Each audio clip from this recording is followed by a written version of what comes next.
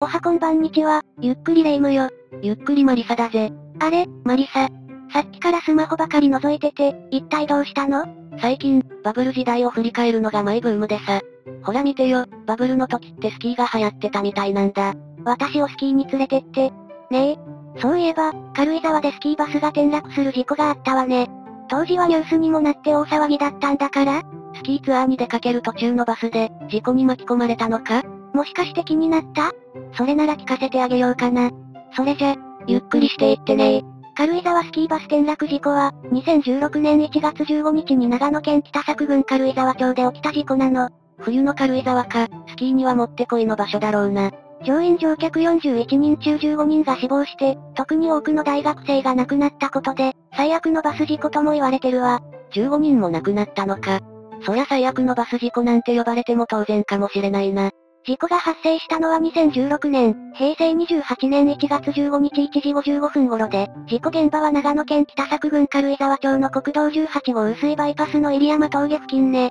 乗客およそ40人を乗せた、定員45人乗りの観光スキーバスが走ってたの。40人も乗客が乗ってたってことは、随分と賑わってたんだな。バスは前日夜に東京原宿を出発して、長野県マダラオ高原のスキー場に向かってたの。首都圏に通ってる、10代や20代の大学生の若者が多く乗ってたみたい。ちょうど冬休みシーズンだったから、きっとスキーを思いっきり楽しもうって思ってたんだろうな。バスが群馬県から長野県方面に向かう、国道18号薄いバイパスの緩やかな下り坂を猛スピードで蛇行運転をした後に、運転ミスで左側のガードレールに衝突。対向車線にはみ出して右側のガードレールを突き破ると、道路脇の雑木林に転落したの。ガードレールですら、バスを止められなかったのか？事故直前の時速だけど、約96キロのスピードが出てたみたい。96キロも。40人も乗客を乗せてたはずなのに、随分と飛ばしてたんだな。バスは3メートル下まで転落して横倒しになって、立ち木に衝突してバス全体が大破、屋根がくの字にひしゃげるような状態だったの。崖から落ちただけでも大変なのに、バスがこんな曲がってたら中にいた乗客たちもさすがに無事じゃ済まないだろう。この事故で、乗員乗客41人のうち15人が死亡、生存者も全員が重軽傷を負う羽目になったの。結局、15人も亡くなったわけか。さすがにやるせないな。乗客の犠牲者全員が10代後半から20代前半の大学生で、就職を間近に控えてた若者もいたみたいだから、世間に与える衝撃は大きなものになったわ。そういえば大学生ばかりで、バスツアーの真っ最中だったはずだよな。バスの運転手2人も死亡、警察の捜査によると65歳の運転手がハンドル操作などを誤ったせいで事故を起こしたって結論になったわ。それで、今回の事故の原因は何だったんだ？原因の一つは言うまでもなくスピード超過ね。一体どんな運転ミスしたら、ガードレールに突っ込んじゃうんだろうな？事故現場から250メートルほど離れた場所に設置された国土交通省管轄の監視カメラでの映像に、バスはブレーキランプを何度か点灯させながらも猛スピードでカーブに突っ込んでいって、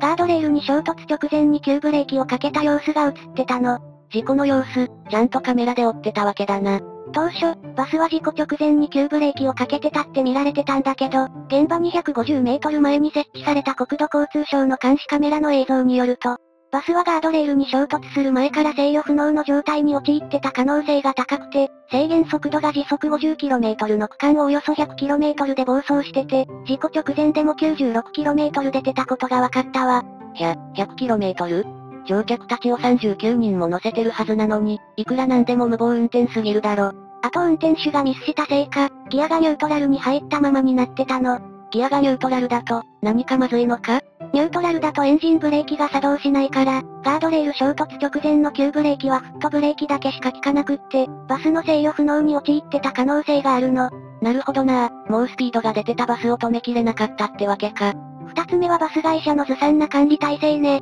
バス会社自体に、何か問題があったってことか？ええ？東京都羽村市にあるバス運行会社の ESP は、軽井沢スキーバス転落事故発生の2日前に、国から義務付けられてるはずの運転手の健康管理を怠っていた法令違反があったため、保有してるバス1台に20日間の運行停止命令が出てたの。法令違反か、この時点で何かきな臭い感じがしてくるな。事故後に行われた ESP のバス運転手への聞き取り取材で、他にもいろんな不正が横行していたことが明らかになったわ。そのバス会社、そんなにいろんな不正があったのか？例を挙げると国から義務付けられてる運転手の健康管理や、運行前の点呼などが行われてなかったとか、運転手への傾向が義務付けられてる運行指示書がなかったり、具体的な走行ルートが記載されてなかったとか。ふむふむ。仕事を取るために格安な額で旅行会社から受注して、安全対策費を無視してたとか大型バス運転経験が十分じゃない運転手を、簡単な研修だけで実車乗務をさせてたとか。おいおい、まだあるのか？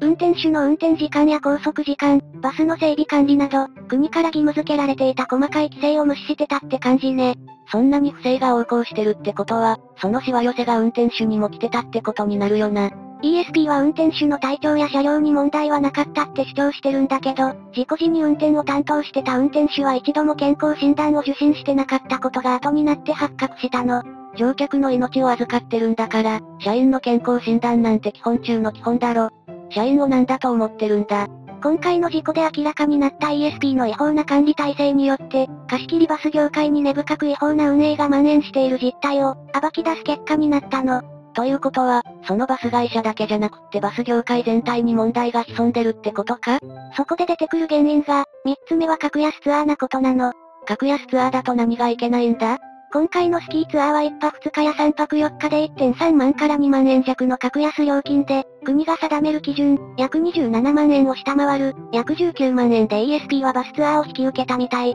ふむふむ、確かにリーズナブルな値段設定だよな。値段が安い分、ずさんな管理体制のバス会社が仕事を引き受けることになったのも事故の要因の一つね。要するに安かろう悪かろうってわけだな。まさか、命に関わる結果を招くなんて思いもしなかっただろう。四つ目は事故現場になった薄いバイパスね。その薄いバイパスって、そんなに危険な場所なのか？事故現場だった薄いバイパスは合計45箇所のカーブがあって、入山峠の曲がりくねった峠道を越えた緩やかな下り道の左カーブだったの。事故現場付近に街灯もなくって、事故当時現場付近は暗闇に包まれてたみたい。真っ暗な中、街灯すらない道じゃ運転しづらいのかもしれないな。別のバス会社社長がこの道を通って関東から長野県に向かうスキーツアーは多数あるが、カーブが多く、路面が凍結している恐れもあり、慣れない運転手には怖い道で、自社では高速道路を使いこのルートは通っていないって話してるくらいの場所なの。バス業界の間でも、それだけ危険なルートだってことが知れ渡ってたわけだな。会社側が運転手に対して作成する運行指示書にルートの記載がなくって、出発地と到着地しか書かれてなかったわけだから、予算の都合でそんな危険なルートを使う要因にもなったわけ。そういえば今回のバスツアーを格安で受けてたんだよな。予算の都合がこんな形で跳ね返ってくるなんて、さすがに思いもしなかっただろうな。5つ目は運転手の経験不足ね。運転手自身にも、何か問題があったのか？事故当時に運転してた運転手なんだけど、バス運転経験自体は通算10年以上あったんだけど、小型バスの運転が中心で、大型バスの運転経験がほとんどなかったの。過去の勤務先などによると、中型やマイクロバスの運転が多かったみたい。ところで、小型のバスと大型のバスってそんなに違うもんなのか？小型バスと大型中型バスだとフットブレーキの違いとか、制動距離、シフトの扱いや内輪差の代償なんかも違ってくるわね。なるほどなすると小型バスと同じ感覚で、大型バスを運転できないわけか。事故を起こした運転手も入社時に大型バスの運転は不慣れだって伝えてたんだけど、2回の研修だけで大型バスの運行業務に就く羽目になって、事故当日は4回目の大型バス乗務だったのよ。大型バスを3回しか運転してなかったのに、バスツアーの運転を任せてたってことか？本来なら路線バスの乗務員研修は、経験者でも最低3ヶ月かけなきゃいけないはずなんだけどね。本来やるべき研修をやらなかったのって、もしかしてコスト削減のせいなのか？きっと、そうでしょうね。あとは深夜業務の経験も乏しかったみたいで、バス会社の幹部も高速道路だけで、一般道はやらせないようにしていたって話してるの。そりゃ一般車両も走ってる一般道より多少はトラブルも減るかもしれないけど、危なっかしいのには変わりないぜ。複数の乗客がバスは事故の直前、かなりのスピードを出して左右に揺れていたって証言してて、経済学者はあの事故現場でスピードを出しすぎる原因は、意識が飛んでいたことくらいしか考えられない。瞬間的な眠気など意識障害に襲われたのではないかって推測してるわ。すると、慣れない深夜業務で眠ってたってことか？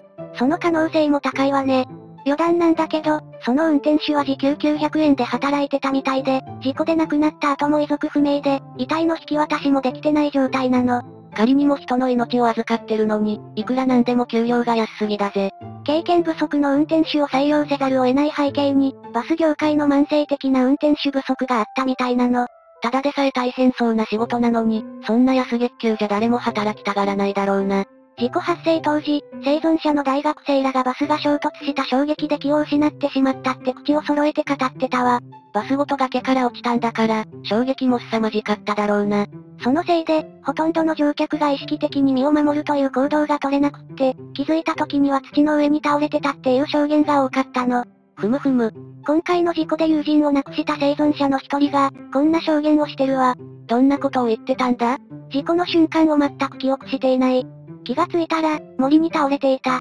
近くにいた人から携帯を持っていますかと聞かれ、ポケットから携帯を取り出したのが最初の記憶だ。なぜ電話が必要なのかと思ったってね。せっかく意識が戻ったっていうのに、状況を把握できてない感じだな。その人は119番に電話をし始め、事故が起きたと気づいた。ふと現実に気づくと、うめき声が周りから聞こえてきた。ドラマでも見ないような光景。最初は寒かったが、興奮してきたのか寒くなくなってきたって振り返ってるわ。もしかしたら本能的に生命の危機を感じたのかもしれないわけだな。同じ大学の友達5人と来てて、他の3人とは事故当時に大丈夫か、大丈夫か？って声を掛け合ってたんだけど、土の上に横たわっていた友人からは返事がなくって、事故発生から10時間以上経った時に初めて亡くなったことを聞かされたみたい。どれだけ凄惨な状況だったのか、嫌っていうほど伝わってくるな。そんな状況だったから、犠牲者と生存者の運命を分けたのは運だとも言われてるわ。確かにこんな状況じゃ、いつ自分が亡くなってもおかしくないもんな。多くの乗客が衝突の直前にバスが異常な運転をしてることに違和感を抱いてて、時速100キロでカーブに差し掛かった時には尋常じゃないって気づいたんだけど、その時点で身を守る行動を取る余裕なんてなかったみたい。運転手も意識が飛んでたかもしれないし、手出しなんてできなかったのかもな。長野県警は2017年6月、バス運行会社 ESP の代表取締役社長と運行管理者の元社員、死亡した運転手2人を業務上過失致死傷容疑などで書類送検して、現在でも長野地検が捜査を続けてるわ。管理体制もずさんだったから、きっちり罪を償ってもらわなきゃいけないよな。さらに犠牲者の遺族が ESP に対して起こした損害賠償請求訴訟で、2019年4月18日に同社が遺族に1億3000万円を支払うことで和解したみたいなんだけど、随分と意味深なこと言ってきて、一体どうしたんだ？同じような訴訟を長野や埼玉の各地裁でも起こされてるようで、すでに支払いが決定した1億3000万円ですら ESP 自体に支払い能力がなく、今後も泥沼化する可能性があるようなの。せめて、遺族に対する賠償くらいはきっちり果たしてもらいたいもんだぜ。事故で息子を亡くした父親は取材を受けた時に、こんなコメントを残してるわ。二度とあのような事故を起こしてほしくない。一つ間違えばというバス事故が年に何回も起こっていますから。今のやり方でいいのかというのは、国土交通省も振り返りをしていただきたいってね。今回の事故、バス業界全体の問題にも広がってきてるもんな。また、生き残った友人も社会人の辛さも話しながら、友達と一緒に行きたかったと二度と会話を交わすことができない辛さを口にしてるわ。そっか、まだ社会人になる前に亡くなったんだよな。東京農工大でラグビー部員だった当時19歳だった犠牲者の父親も突然息子を失った悲しさ、虚しさを抱えながら生きた3年だったと語おうとして、2019年に日本で開催されたワールドカップを一緒に見に行けず残念だって語ってるわ。親御さんも友人も、ただただ悲しかったろうな。事故から3年が経過した2019年1月14日の事故発生時刻に、犠牲者の遺族や当時バスに乗っていた生存者らが、現場付近に混入された慰霊碑祈りの日に喧嘩して、祈りを捧げてるわ。不運にも今回の事故で亡くなった人たちを、ちゃんと弔ってあげないといけないよな。あとはバス業界の体制もきっちり見直して、今回のような事故を二度と起こさないよう気をつけなきゃいけないわね。それでは今回はこの辺で終わろうかしら。最後までご視聴いただきありがとうございました。このチャンネルでは事故や災害について解説してるから、よかったらチャンネル登録と高評価をよろしく頼むぜ。あとこのチャンネルで解説してもらいたい事故や災害があったら、気軽にコメント欄で教えてくれると助かるぜ。それではまた次回会いましょう。バイバイ。